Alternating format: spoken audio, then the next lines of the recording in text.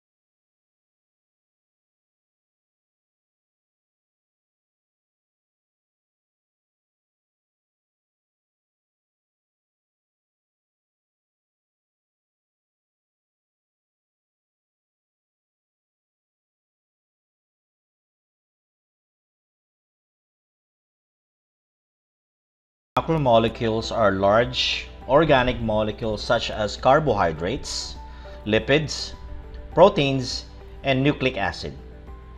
Most of them are organic compounds and functional group determines their chemical properties.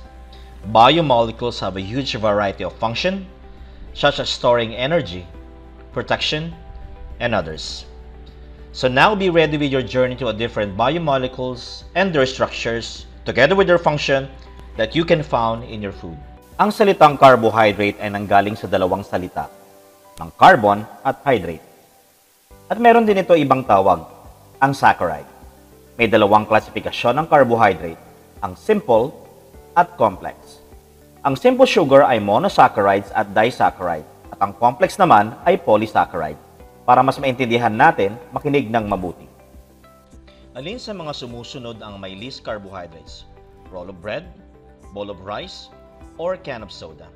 Napaka-tricky ng question. Although they may different in terms of facts, pagdating sa carbs na they are pretty much the same. So what is exactly does that means para sa diet mo? Unang-una, ang carbohydrate is nutritional category for sugar and molecules that your body break down para gumawa ng asukal o sugar. Carbohydrates can be simple or complex, depende yan sa structure niya. Ito ang simpleng sugar or yung tinatawag nating monosaccharide. Glucose, fructose, and galactose. Lahat ito ay simple sugar. Pag pinagsama natin ang dalawa, makakabuo tayo ng tinatawag na disaccharide. Lactose, maltose, or sucrose. Yung complex carbohydrates naman, kapag meron tayong 3 or more simple sugar na pinagsama, tulad ng uh, 3 hanggang 10, ay oli oligosaccharide. At ang more than 10 naman, ang polysaccharides. During digestion, your body break down to those complex carbohydrates into their monosaccharide building blocks para maging energy ito. Kaya kapag kumakain ka, ang sugar level mo ay tumataas. Pero yung digestive tract mo ay hindi lahat nagre-respond sa lahat. Bakit kaya ang mga atleta kumakain bago ang kanilang laro? Ang mga atleta ng marathon, triathlete at ibang manlalaro ay kumakain ng carbohydrates ng mahigit isang linggo bago ang kanilang laro.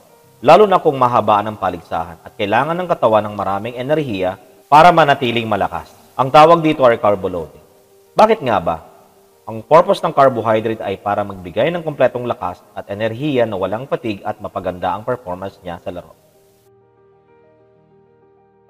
Let's have an example of monosaccharide. Glucose. Used in dextrose, blood sugar, the form utilized by the human body. Ang galactose naman ay matatagpuan karamihan sa mga gatas. Ang fructose ay matatagpuan natin sa mga prutas at honey. Ang disaccharide, which two saccharides, example niya yung maltose, paghahaluin natin yung glucose at glucose, na matatagpuan natin sa mga malt. Ang sucrose naman, glucose at fructose na ito ay ating naging nakikita sa ating bahay, sa ating tahanan, ito yung tinatawag nating regular sugar. Sugar cane at saka sugar beet. Ang lactose, ang pinaghalong glucose at galactose. Nakaramihan, natatagpuan natin sa mga gatas pa rin ng mga produkto. Ang polysaccharide ay marami siyang saccharide. So, number one example natin dyan ay starch. Nakaramihan nakikita natin sa mga halaman. Yung glucose ng halaman, yun yung starch. Ang amylopectin, karaniwang makikita rin natin sa mga halaman, yung glucose ng halaman. Ang glycogen, storage form of glucose animal stored in the liver and muscles. So, sa mga hayop naman natin makikita ito. At ang cellulose, structure material in plants, karamihan nasa halaman. Yung cell wall in wood, wood fiber cannot be digested by humans. So, ito yung mga cellulose natin.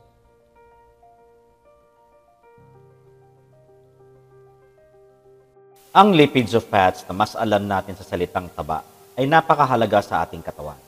Ngunit kung ito ay labis at sobra sa pagkain ng taba, tulad ng saturated fats at trans fats, this can lead to a heart disease o sakit sa puso, cancer, at labis na katabaan. Ang lipids ay nagsisilbing material sa ating cell membrane at nagbibigay proteksyon upang mapanatili ang tamang temperatura ng ating katawan para sa magandang digestion at signal molecules. There are three different classification of lipids. Triglyceride, phospholipid, wax, and steroid. So the lipid family is one of the most varied in terms of structure, but they share the common property of being insoluble in water. Ibig sabihin, hindi sila pwedeng ihalo sa tubig. Kasi nga, mga non-polar sila. Fats usually from animal sources such as meat, yung karne, milk, gatas, butter, margarine, itlog, at saka yung queso or cheese. Meron naman iba, yung uh, tinatawag nating oil refers to a liquid triglyceride. Yung kanina, hindi kasi liquid yun, ang buo yung solid. So yung liquid uh, coming from uh, plant sources. So other than that, we also have uh, olive oil, corn oil, sunflower oil, and uh, soybean oil. So itong mga to, pwede natin siyang uh, i-consider na tinatawag nating saturated fats. Okay? So ito yung mga example din ng mga saturated fats natin. Aside from that, yung uh, tinatawag nating um, uh, fats coming from animals contain high percentage of saturated fatty acid. Ito yung sinasabi ko, no? no, saturated uh, fatty acid, while plants oil are mostly unsaturated fatty acid. So, kapag ang oil mo or fats ay galing sa hayop, automatically tinatawag natin itong saturated fats. Pag galing naman sa halaman, of course, pwede nating sabihin uh, unsaturated fats siya. Uh, eh, uh, pag sinabi nating unsaturated fats, okay, healthy ito, no? Healthy. Yung iba kasi kapag uh, nagigisa, no? Gigisa ng karne, nagmamantika, yun yun na rin ang ginagamit nilang mantika para sa magigisa nila. Wherein, hindi nila alam na unhealthy yun na it can lead to a risk, no? Masyadong mataas ang cholesterol. So, much better if you use vegetable oil, galing sa mga halaman. Proteins are composed of four elements. Ito yung carbon, hydrogen, oxygen, and nitrogen. Sulfur and other metals are sometimes also found in proteins. If carbohydrates are made up of saccharides, proteins are made up of amino acid. Examples of proteins and their functions are, unang-una yung uh, keratin. Keratin is a structural protein found in hair, skin, and nails. So, matatagpuan natin to sa uh, ating mga buhok, sa balat natin, tsaka yung sa mga kuko.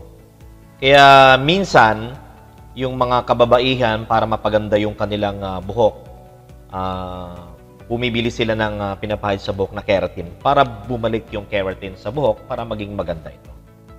Yung fibrone at saka silk protein ay natatagpuan natin syempre sa silk. Silk has a smooth and soft texture. It is one of the strongest natural fiber that we have high resistance deformation. It is also good in insulating material. What are enzyme? Enzyme are to increase the rate of chemical reaction. Tingnan natin ang ah, reaction nito. Halimbawa, ikaw ay kakain ng pagkain na may asukal.